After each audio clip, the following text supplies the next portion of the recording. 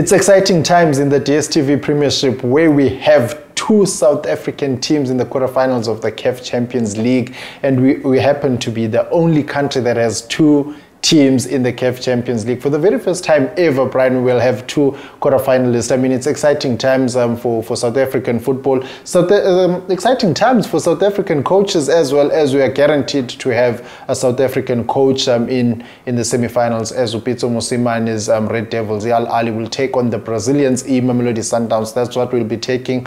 Um, that's what we'll be dissecting um, on this show where we've got Bryan Naicker and my name is obviously Ubanele Pikwa. Bryan, let us dissect the fixture between um, E Mamelodi Sundowns and the Al Ahly. I mean, that is a humdinger of note. Um, we've seen the mind games already started. I mean, they started a month ago with the coach um, Rhulani saying if Upitso Mosimane is um, honest, he, he, knows that um, Mamelodi Sundowns is not the team they want to face. And yeah, there's Upitso Mosimane is saying um, Sundowns is a well-rested team. I mean, familiar scenes there, and he was handed a fine there. So, I mean, it's been already um, some hype um, around this match. Let us see the game. What do you think is going to happen on this Humdinger?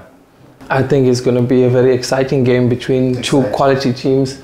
And I'm excited for our South African players, mm. especially to, to prove themselves and show that they deserve to be at the top of the game and in Africa because we, we've been let down in Bafana, but mm-hmm. uh, we do have the right players, and I think most of them are at Sundown. So if anyone are gonna overcome this unlikely challenge, it's gonna be Sundowns. Mamelodi Sundowns. Yeah, I agree. If there's a South African team that can match um, Pitso Mosimane's Al Ahly, it is indeed um, Mamelodi Sundowns. So yeah, we must also remember that Al Ahly are the current um, current champions of the CAF Champions League as they beat um, Zamalek 2-1 in last year's final. I mean, Pitso Mosimane winning his second um, Champions League trophy there. Bryan, can Upitso Mosimane be the one to take out his former team in the quarterfinals? I'm going to put you on the spot here straight away.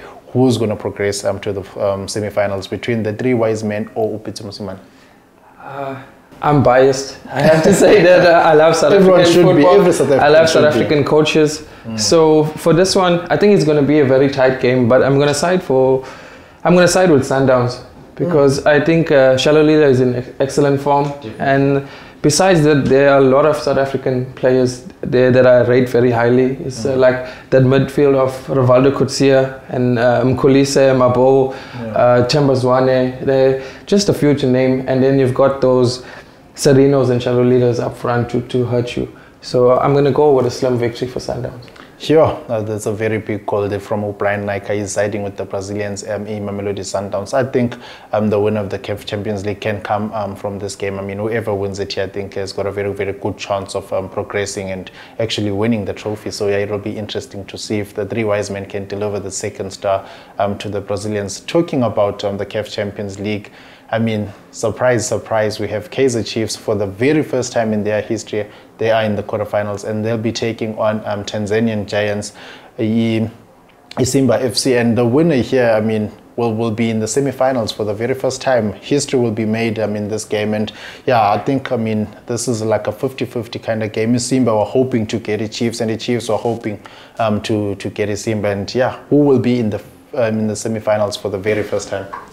It's going to be challenging for Chiefs. Yeah. I think on on DSTV Premiership front, it's been very difficult yeah, for them, and yeah, but uh, there is hope, and I think the clean sheets have helped them a lot in in CAF Champions League. So that will be key for them to to progress and, and beat Simba because I think Simba are already here, and they're gonna watch Chiefs next league game. So that's gonna give more analysis for them and more time to prepare for us. Mm. But uh, I think it's going to be a narrow game and probably a clean sheet, maybe nil-nil in that one.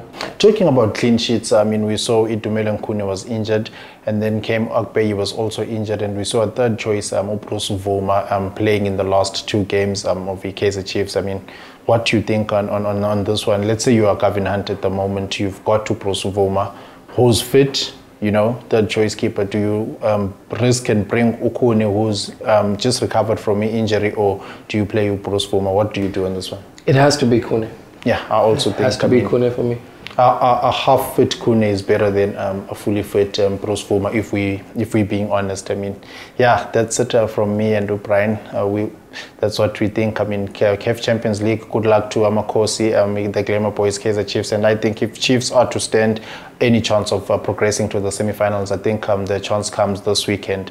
That's where they should um, stamp their authority. At least win 3-1 or 2-0. Give themselves a two-goal cushion when they go to Eid Al Salam in, in Tanzania. And remember, there'll be um, supporters in Tanzania, so they'll have that 12-man um, advantage. So it's it's a little bit a tricky one for Kaizer Chiefs. Good luck to the Brazilians also in Mamelodi Sundowns as they take on um, coach Pitso Mosimane Al Ahly, the Red Devils. So yeah, remember to subscribe and that's it from me and O'Brien Naicker. Sharp sharp. For more soccer betting tips and previews, get the latest copy of Soccer Betting News for only 10 Rand at your nearest Hollywood Bets branch or news agent.